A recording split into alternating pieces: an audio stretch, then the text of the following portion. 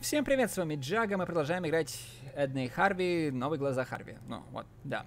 Как бы мы вернулись в тот момент, где было сохранение у меня перед... Э, перед чем? Перед тем, как э, есть возможность выбора концовки. Ну, только сейчас придется опять все это послушать. Э, можно не слушать, но все-таки концовка будет другой, как я думаю. Так, она хочет, чтобы мы отдали Харви со старыми глазами. Получи же. Ой, какой милый. Можно мне его подержать? Но... Но, Лили... Что ты задумала? Ты правда отдашь меня матери-настоятельнице? В смысле, конечно, немного живости не повредит. Но я думал, что мы друзья. Мы могли бы столько всего сделать. Давай что-нибудь подожжем, или поговорим с Эдной, или построим что-нибудь безумное из разных штук, или... или... Ты правда отдашь меня матери-настоятельнице? Да. Правда? Ох, Лили, как я могу тебя отблагодарить? Ты наверняка хочешь что-нибудь взамен, да? К сожалению, у меня есть только нож. Его будет достаточно? Чудесно. Спасибо за все, Лили. Отлично, если будешь продолжать в том же духе, когда-нибудь я найму тебя своим заместителем. Лучше я найму тебя, помощницей космонавта. Это куда круче, чем заместитель. Как хочешь. Пожалуйста, освободи нас поскорее. Потом мы все решим. У меня же есть уже план. Ты ведь знаешь историю девочки, которая давным-давно сбежала из клиники доктора Марселя. Та девочка столкнула его с лестницы той же ночью. В общем, я тебе никогда не говорила, но это была я.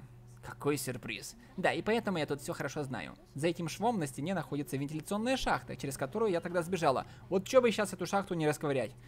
Скоро мы окажемся на воле. Нам придется пройти мимо кабинета доктора Марселя, но Лили, что-то не так? Ну давай, Лили, освободи нас. Ну что происходит? Ты не собираешься сделать какую-нибудь пакость? Э, глупость. Лили, куда ты идешь, Лили? Лили, вернись. Лили, вернись. Доктор Марсель, ну что? У нас есть очередной выбор. Ты уверена, что хочешь это сделать? Да, прекрасно. Ну, я сразу понял, что ты опасна. Остальные дети, о, это все были несчастные случаи, да. Но теперь ты здесь, с острым ножом, готова убить беспомощного, беспомощного старика. Может, ты и чувствуешь себя хорошо, но правда в том, что ты больна. Очень больна. Тебе нужна моя помощь. Ты мне не веришь, да? Думаешь, ты все делаешь для Эдны? Ну, Лили, ты должна узнать кое-что о своей подруге. Так называемой Эдне. Ее не существует. Здесь была однажды девочка по имени Эдна. Да, ты, наверное, слышала о ней. Но девочка, которую ты знаешь, не более чем плод твоего воображения. Попытка сбежать от той жизни без друзей, что ты вела в школе. Думаешь, я вру? Потому что есть еще кое-кто, кто видит Эдну? Дай-ка угадаю, кто ее видит. Священник? Нет. Полицейский, верно?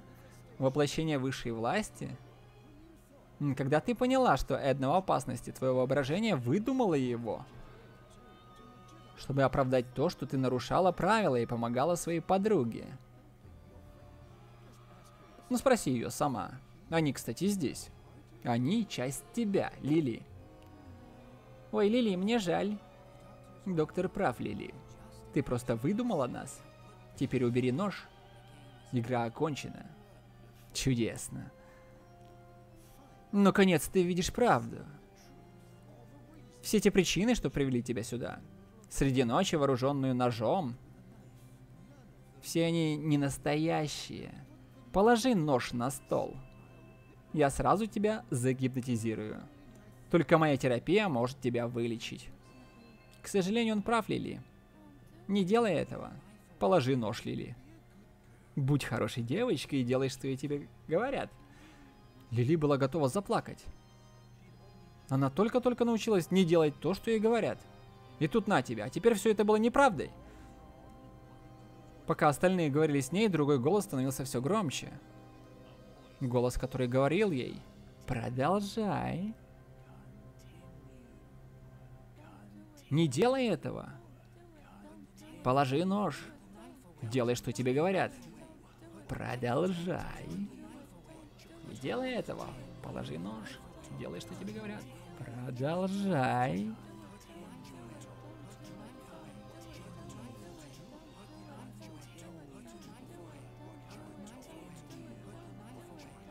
Возмутиться. Э -э, продолжай. Ну и чё? Возмущение к чему-то вообще привело?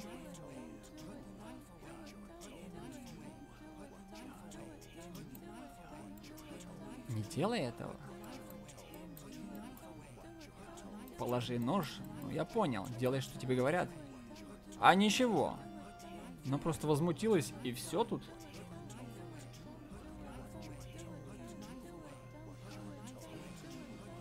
А, ну еще разок. Ну, для проверки. Хватит, продолжай. Я что думаю, может несколько раз нажать вот это вот стоп, и оно как-то прекратится, и что-то что-то будет. Не знаю что. Они все равно говорят, что, что ну, три раза нажмем это стоп, вдруг поможет как-то. Может надо не три раза, а десять раз.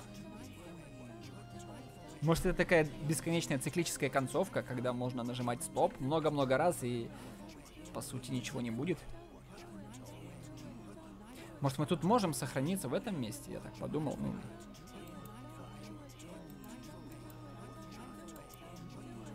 Да все то же самое. Ну, еще раз попробуем.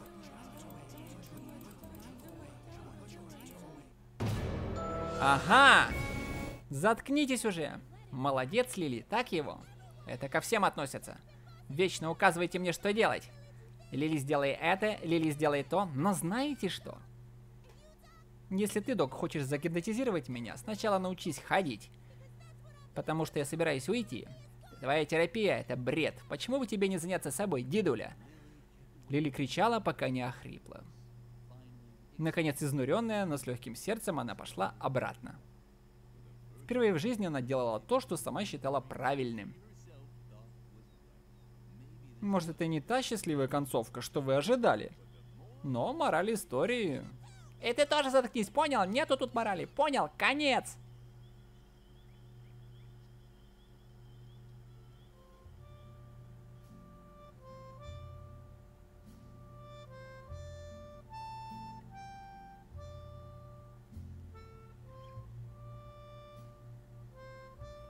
Ну понятно, кредиты.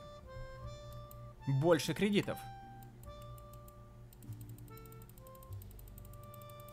И вот подумаю, может все-таки прокрутить все кредиты до конца.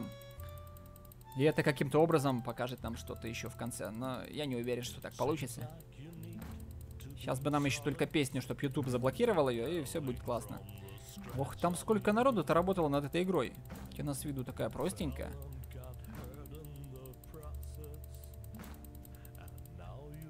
Special Thanks пошли, а, специальные.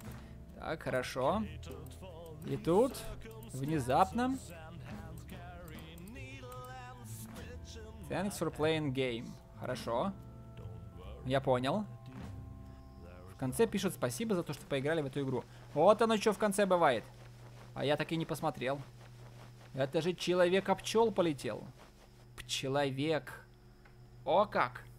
Интересно, в разных концовках разные. Ну, вот мы в следующей посмотрим, будет ли что-то в конце кредитов. Всем спасибо за внимание, с вами был Jago, подписывайтесь на канал, ставьте лайки. Лайк вот за новую концовку Эдны. Adiós. Концовка Эдны. Игры, конечно.